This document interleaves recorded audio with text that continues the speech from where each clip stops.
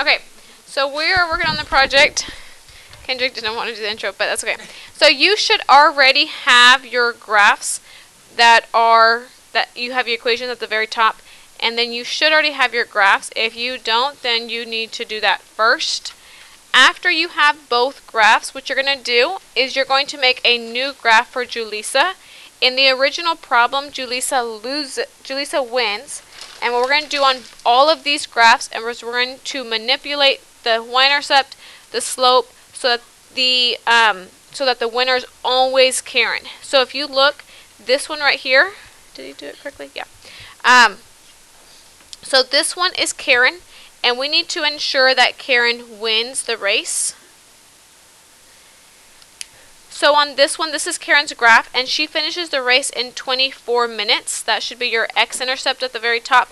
You're going to make a new graph where Julissa loses the race. So that means that her time, can you stop? Her time is longer, is more than 24 minutes. So for this one on the left-hand side, your y-intercept has to be 35. So it has to start at 35.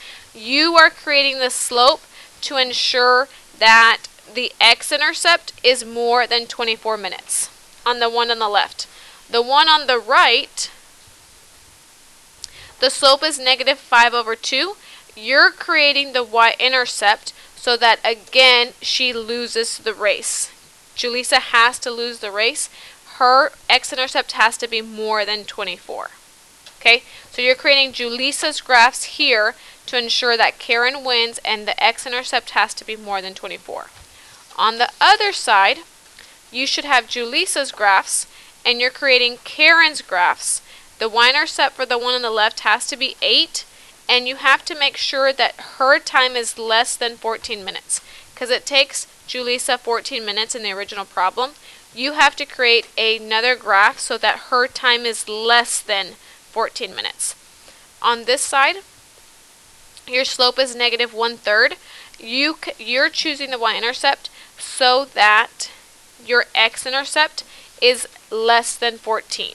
Because again, Karen needs to win the race in all four graphs.